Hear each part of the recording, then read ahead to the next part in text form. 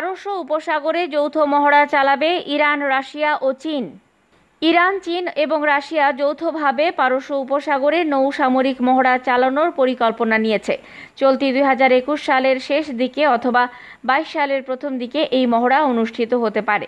পারস্য উপসাগরে আন্তর্জাতিক জাহাজ চলাচলের নিরাপত্তা নিশ্চিত করা এবং জলদস্যুতার বিরুদ্ধে লড়াইয়ের দক্ষতা অর্জনের লক্ষ্য নিয়ে এই মহড়া অনুষ্ঠিত হবে। তেহরানের নিযুক্ত রাষ্ট্রদূত লিভান ডি জাকারিয়ান আজ রাশিয়ার বার্তা সংস্থা স্পুতনিককে দেয়া এক সাক্ষাৎকারে কথা জানিয়েছেন। তিনি বলেন, যৌথ এই মহড়ার নাম দেওয়া হয়েছে চিরু। মহড়ায় রাশিয়া, ইরান এবং চীনের বেশ কিছু যুদ্ধজাহাজ অংশ নেবে।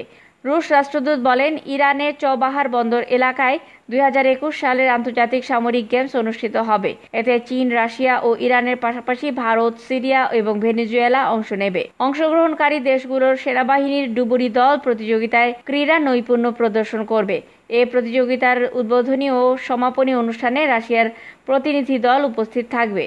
ইউক্রেন সংকট সমাধানে মার্কেলের উদ্যোগ। দীর্ঘ প্রায় ষোলো বছর ক্ষমতায় থাকার পর বিদায়ের সিদ্ধান্তের আগেই যেন কিছুটা ম্লান হয়ে পড়েছেন জার্মান চ্যান্সেলর অ্যাঞ্জেলা মার্কেল। একেবারে শেষ মুহূর্তে কোনো বড় সাফল্য তার ভাবমূর্তি আবার উজ্জ্বল করে তুলতে পারে। সেই চেষ্টা চালাতে তিনি সপ্তাহান্তে মস্কো ও কিয়েভ সফর করলেন। রাশিয়া ও ইউক্রেনের মধ্যে দুই হাজার চোদ্দ সাল থেকে চলে আসা সংঘাত ও জটিল সম্পর্কের জট অন্তত কিছুটা ছাড়াতে পারলেও তার অবদান স্মরণীয় হয়ে থাকবে এমনটাই আশা করছে মার্কেল। ইউক্রেনের পূর্বাঞ্চলের বিচ্ছিন্নতাবাদীদের প্রতি রাশিয়ার সমর্থন এবং ক্রাইমিয়া উপদ্বীপ বেদখলের সাথে সাথে ইউক্রেনের মধ্য দিয়ে ইউরোপে রাশিয়া থেকে গ্যাস সরবরাহের ভবিষ্যৎ বর্তমানে কিয়েভে দুশ্চিন্তার কারণ হয়ে উঠেছে। তবে এই সংকট মেটানোর প্রচেষ্টার ক্ষেত্রে নিজেকে নিরপেক্ষ মধ্যস্থতাকারী হিসেবে তুলে ধরতে পারছেন না মার্কেল। ইউক্রেনকে এড়িয়ে রাশিয়া থেকে সরাসরি জার্মানিতে গ্যাস সরবরাহের লক্ষ্যে নর্ড স্ট্রিম টু নামের প্রকল্পের কাজ প্রায় শেষ হতে চলেছে। জার্মানি, ইউরোপ, আমেরিকা ও ইউক্রেনে এই প্রকল্পকে ঘিরে চরম বিতর্ক সত্ত্বেও এর পক্ষে সমর্থনে অবিচল রয়েছেন জার্মান চ্যান্সেলর। ইউক্রেনের ক্ষতিপূরণ হিসেবে সে দেশে পুনর্ব্যবহারযোগ্য জ্বালানির উন্নতির লক্ষ্যে বিশাল অঙ্কের তহবিল গড়ার উদ্যোগও কিয়েভের মন জয় করতে পারছে না। এমন প্রেক্ষাপটে রোববার কিয়েভে সফরে গিয়ে মার্কেল ইউক্রেনের শান্তি ফেরাতে এক বহুপাক্ষিক শীর্ষ সম্মেলনের পক্ষে সমর্থন আদায়ের চেষ্টা করেছেন। ইউক্রেনের প্রেসিডেন্ট ভলোদিমির জেলেনস্কির সঙ্গে একক যৌথ সংবাদ সম্মেলনে তিনি রাশিয়া, ইউক্রেন, ফ্রান্স ও জার্মানির শীর্ষ নেতাদের বৈঠকের প্রস্তাব দেন। উল্লেখ্য, দুই হাজার বিশ সালে পরিকল্পনা সত্ত্বেও এমন উদ্যোগ কার্যকর করা সম্ভব হয়নি। মার্কেল ও জেলেনস্কি রাশিয়ার উদ্দেশ্যে নর্ড স্ট্রিম টু প্রকল্পকে রাজনৈতিক হাতিয়ার হিসেবে অপব্যবহার করার বিষয়ে সতর্ক করে দিয়েছেন। আমেরিকার সাথে বোঝাপড়া অনুযায়ী মার্কেল প্রয়োজনে রাশিয়ার ওপর নিষেধাজ্ঞা চাপানোর হুমকিও দিয়েছেন।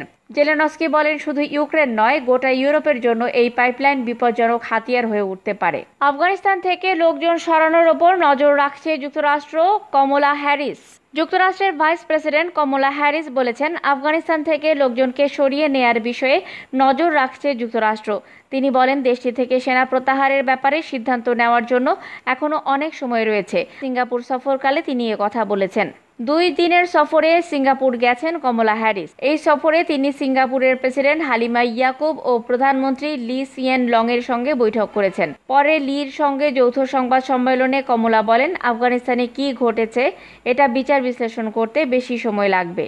কমলা বলেন, ঠিক এই মুহূর্তে আমরা মার্কিন নাগরিক, তাঁদের সহায়তাকারী আফগান এবং নারী শিশু সহ ঝুঁকিতে থাকা মানুষদের সরিয়ে নেয়ার বিষয়টির উপর জোর দিচ্ছি। কমলা যখন এসব কথা বলছেন, তখন বিশ্বব্যাপী সমালোচনার মুখে পড়েছেন দেশটির প্রেসিডেন্ট জো বাইডেন। কারণ তিনি আফগানিস্তান থেকে একত্রিশ আগস্টের মধ্যে সেনা প্রত্যাহার করতে চাইছেন। ওই সংবাদ সম্মেলনে সিঙ্গাপুরের প্রধানমন্ত্রী লি বলেন, আমরা আশা করছি আফগানিস্তান আবারও সন্ত্রাসীদের আতুর ঘরে পরিণত হবে না।